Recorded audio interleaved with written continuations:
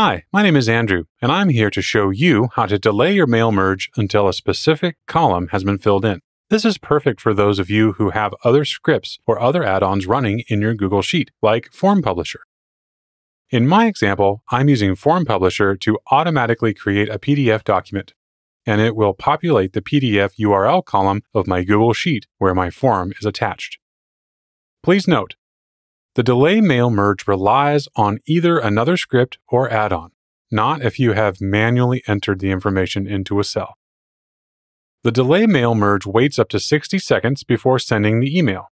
If the other script or add on has not finished by then, it will wait until the next form submission before trying again. Here is my spreadsheet, which has my YAMM event form link.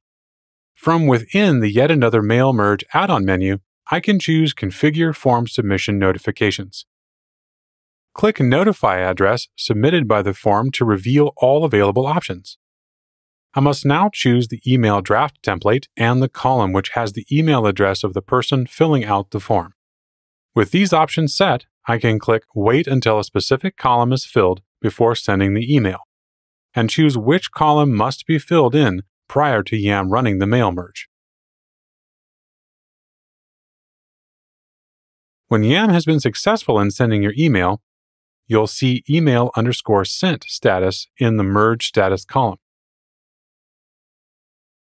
If your other script or add on hasn't completed and filled in the required column for YAMM to run its mail merge within 60 seconds, you'll see the error status in the merge status column.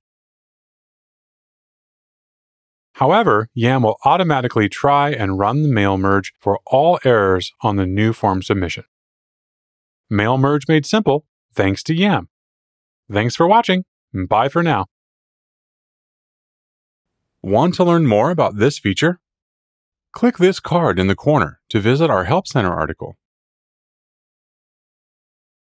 And check out our other videos for more amazing features in YAMM.